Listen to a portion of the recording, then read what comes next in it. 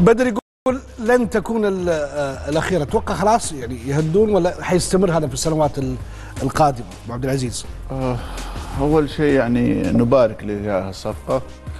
وقبل ما نبارك لهذه الصفقة نبارك له وجود شخص ورمز هلالي كبير. لا أتوقع أن تاريخيا مر على الكرة السعودية شخص مثله اللي هو صاحب سمو الملك الأمير الوليد بن طلال وأبشر ال- الكلمة التاريخية والتغريدة التاريخية.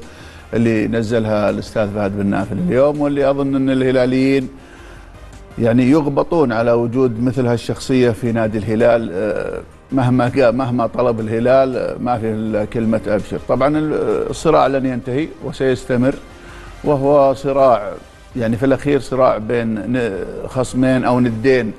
يجب أن يستمر لمصلحة الكرة السعودية ولمصلحة الرياضة السعودية فيما لا ينعكس على طبعا الجوانب ال- الأخلاقية أو الجوانب الأخرى الغير السلبية. لكن التنافس على لاعبين التنافس على بطولات التنافس على حتى في الملاعب. يعني كلنا نتذكر سالفة ملعب الجامعة والصراع اللي كان عليه.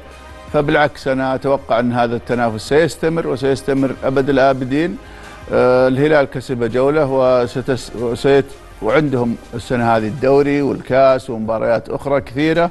آه، نبارك للهلال آه، انتقال آه، متعب الحربي اللي نتمنى له التوفيق في خطوته القادمة. وكذلك نبارك قبل قبل ما نبارك الهلال متعب الحربي نبارك له وجود شخصية عظيمة في الهلال مثل صاحب سمو الملك الأمير الوليد بن طلال. لو بنتكلم عن صفقة بنتكلم عنها في يعني وقت أو أطول من كذا ولكن بالسؤال عن استمرار الصراع أشوف أنا أنه راح طيب الصفقة. كيف